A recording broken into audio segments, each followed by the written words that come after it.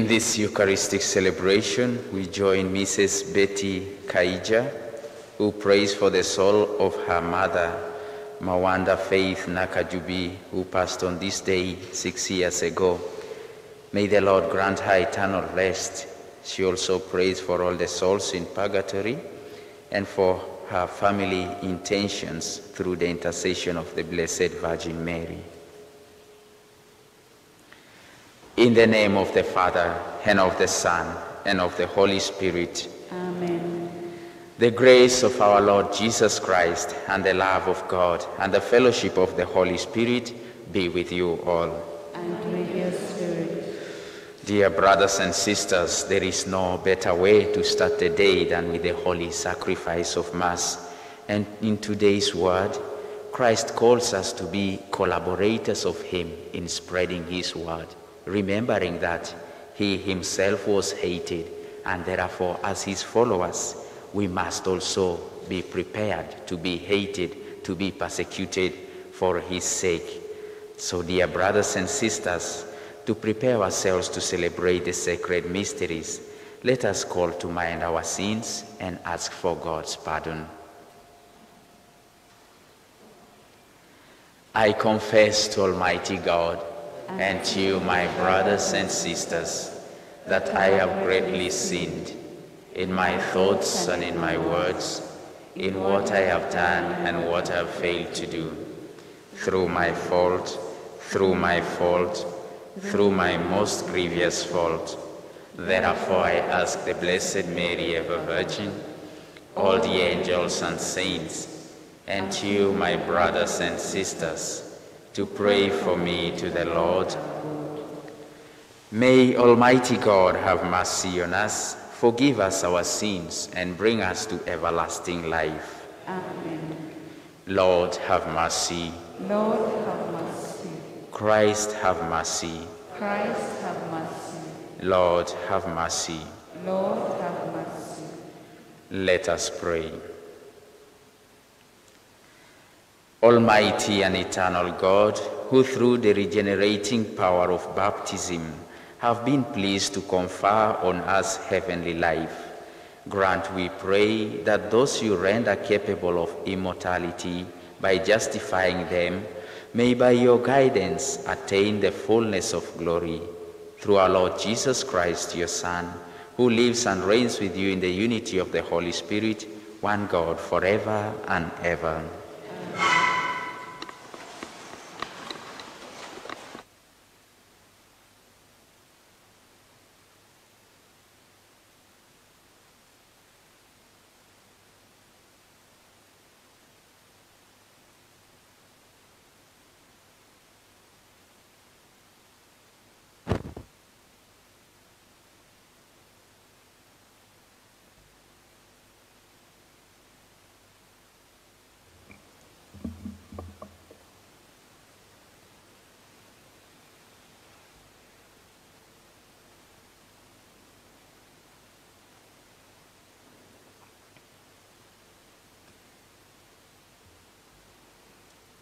First reading.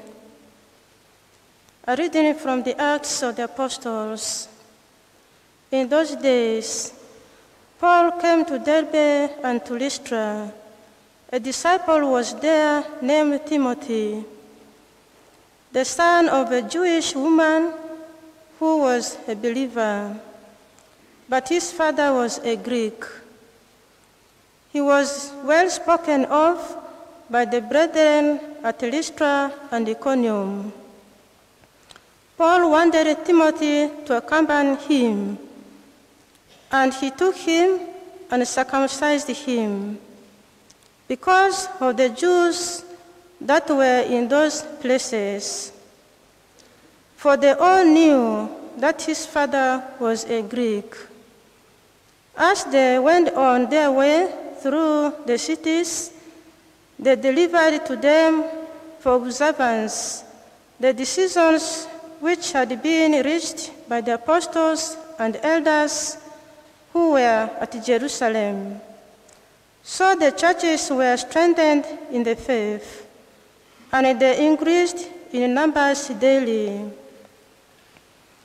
As they went through the region of Phrygia and Galatia, having been forbidden by the Holy Spirit to speak the word in Asia.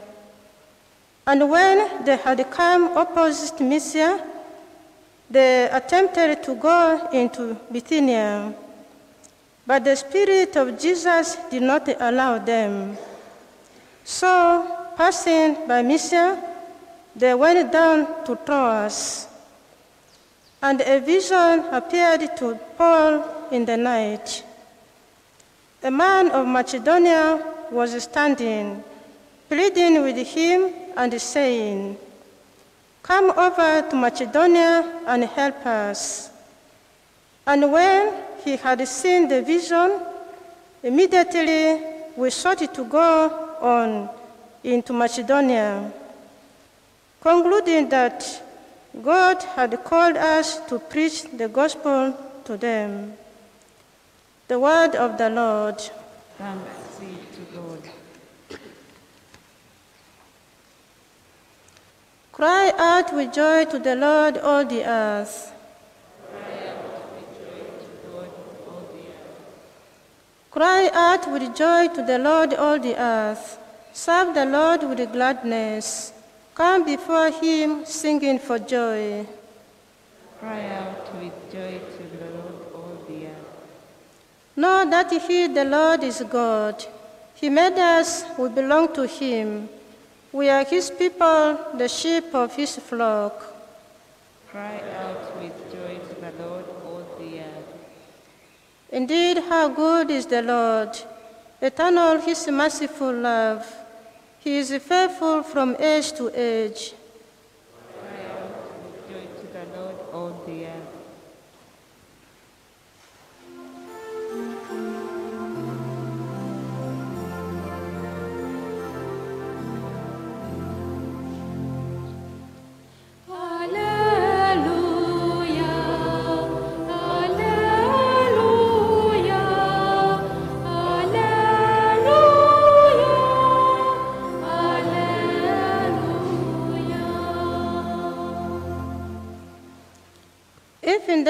Have been raised with Christ, seek the things that are above, where Christ is seated at the right hand of God.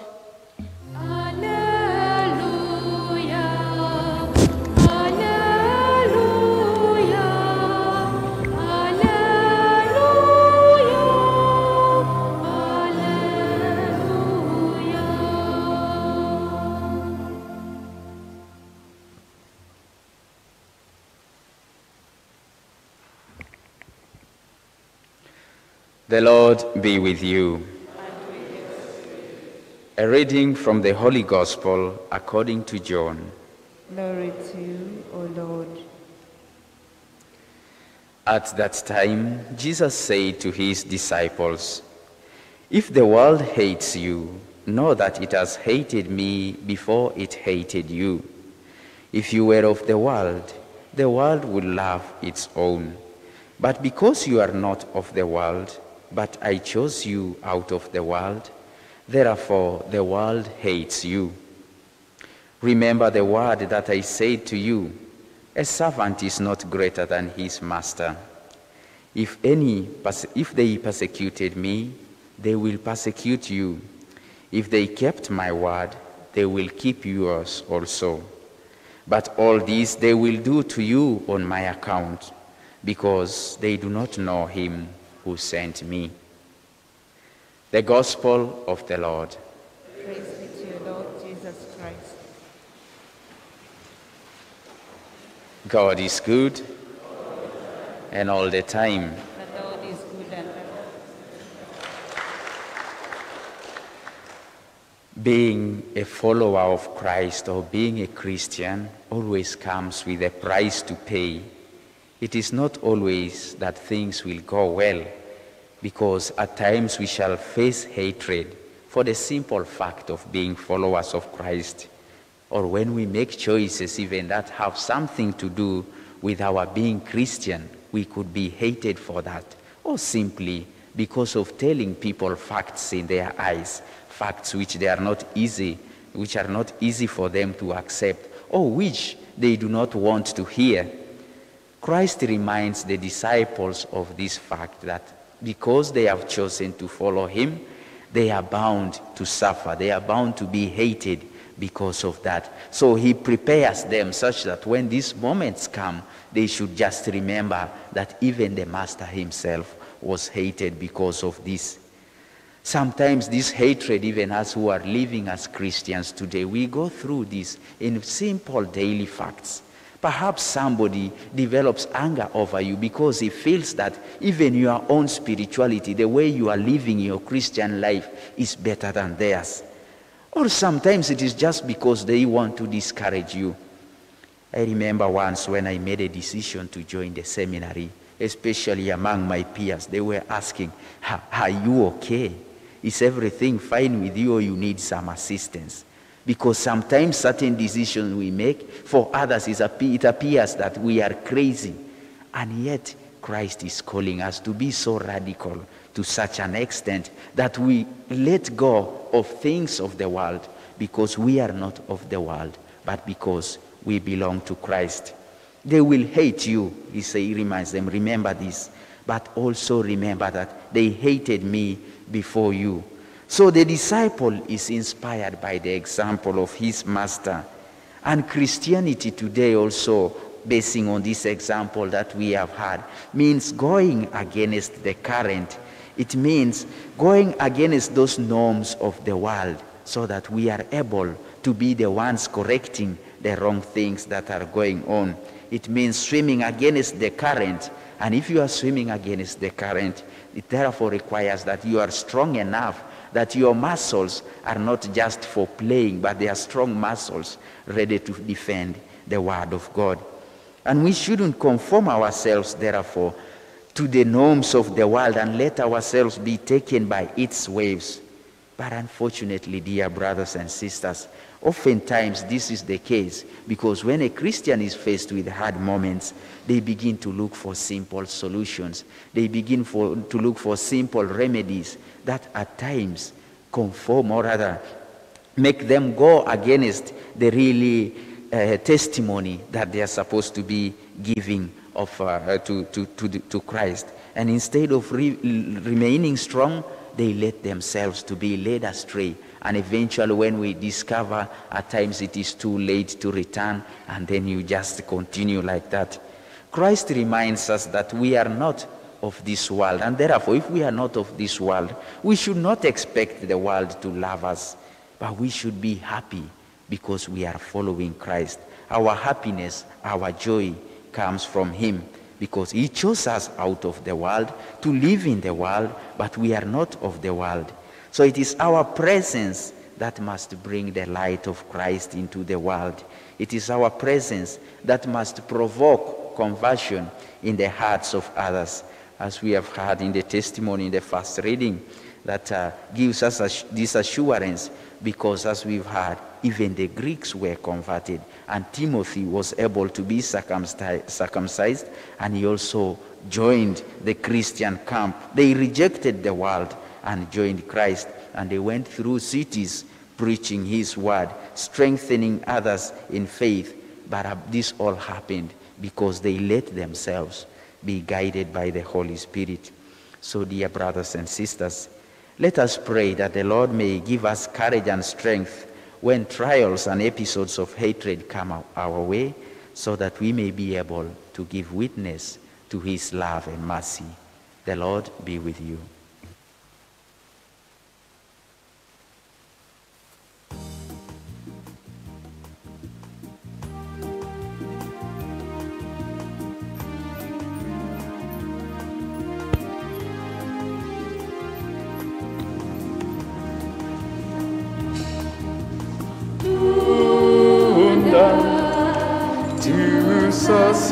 Sacire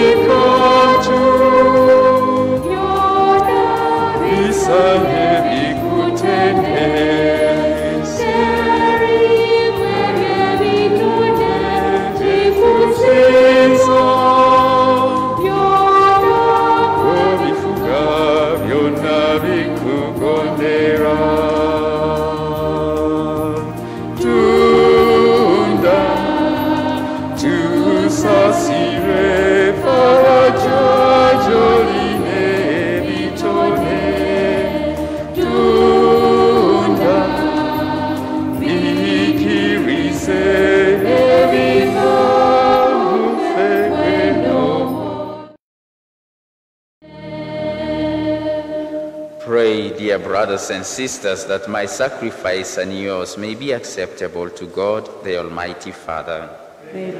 Accept the sacrifice at my hands for the praise and glory of his name, for our good and the good of all his. Accept in compassion, Lord, we pray, the offerings of your family, that under your protective care they may never lose what they have received, but attain the gifts that are eternal. Through Christ our Lord. Amen. The Lord be with you. Lift up your hearts. Let us give thanks to the Lord our God. It is truly right and just, our duty and our salvation at all times to acclaim you, O Lord, but in this time above all to laud you yet more gloriously when Christ our Passover has been sacrificed. For with the old order destroyed, a universe cast down is renewed, and integrity of life is restored to us in Christ. Therefore, overcome with paschal joy, every land, every people exalts in your praise. Even the heavenly powers with angelic hosts sing together the unending hymn of your glory as they acclaim. Holy, holy, holy Lord, God of hosts, heaven and earth are full of your glory. Hosanna in the highest. Blessed is he who comes in the name of the Lord. Hosanna in the highest.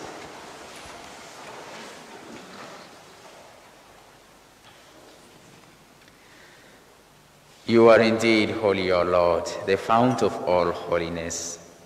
Make holy, therefore, these gifts, we pray, by sending down your Spirit upon them like the dewfall, so that they may become for us the body and blood of our Lord Jesus Christ. At the time he was betrayed and entered willingly into his passion, he took bread and giving thanks, broke it and gave it to his disciples, saying, Take this, all of you, and eat of it, for this is my body, which will be given up for you.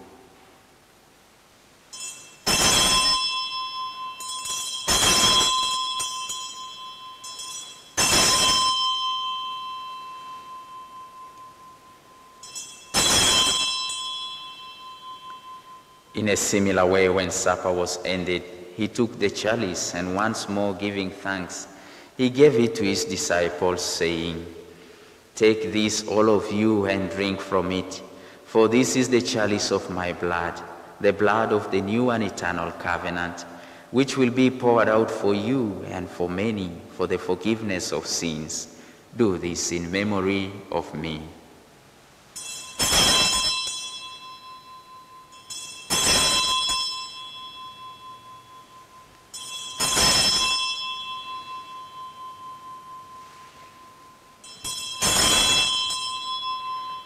The mystery of faith. We proclaim your death, O Lord, and profess your resurrection until you come again.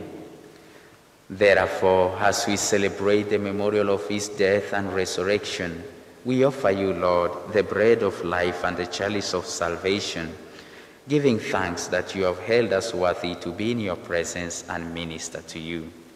Humbly we pray that partaking of the body and blood of Christ, we may be gathered into one by the Holy Spirit.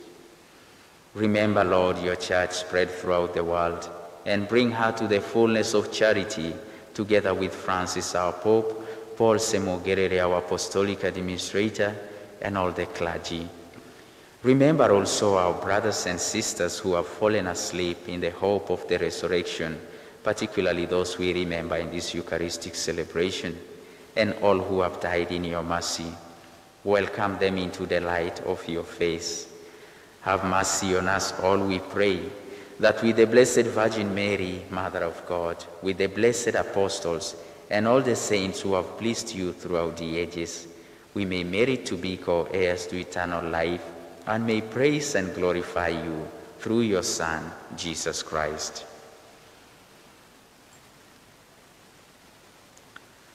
Through him and with him and in him, O God Almighty Father, in the unity of the Holy Spirit, All glory and honor is yours forever and ever. Amen. At the Saviour's command and formed by divine teaching, we dare to say, Our Father, who art in heaven, hallowed be your name. Your kingdom come, your will be done on earth as it is in heaven. Give us this day our daily bread, and forgive us our trespasses, as we forgive those who trespass against us. And lead us not into temptation But deliver us from evil. Deliver us, Lord, we pray, from every evil. Graciously grant peace in our days, that by the help of your mercy we may be always free from sin and safe from all distress, as we await the blessed hope and the coming of our Savior, Jesus Christ. For the kingdom, the power, and the glory are yours, now and forever. Lord Jesus Christ, who said to your apostles, Peace I leave you, my peace I give you, look not on our sins, but on the faith of your church, and graciously grant her peace and unity in accordance with your will, who live and reign forever and ever. Amen. The peace of the risen Christ be with you always. And with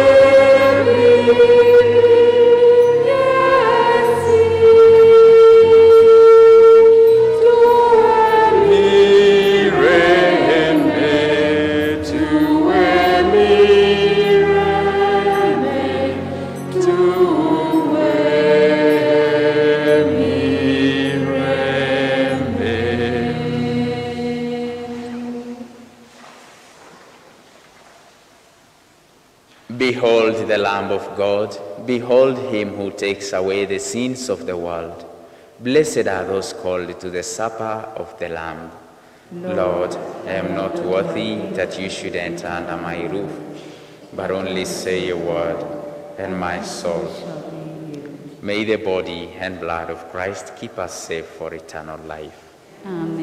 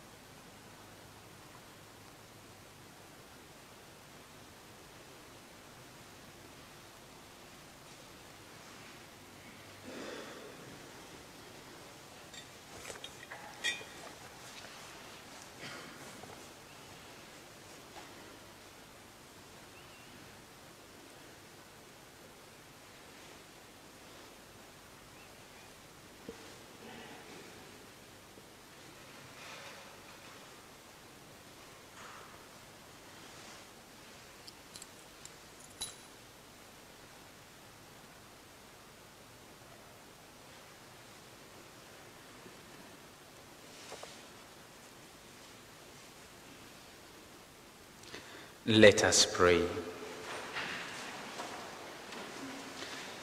Keep safe, O Lord, we pray, those whom you have saved by your kindness, that redeemed by the passion of your Son, they may rejoice in his resurrection, who lives and reigns forever and ever. Amen.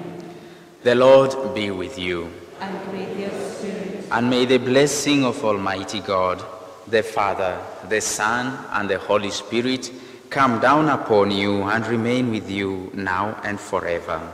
Amen. The Mass is ended. Let us go forth to love and serve the Lord.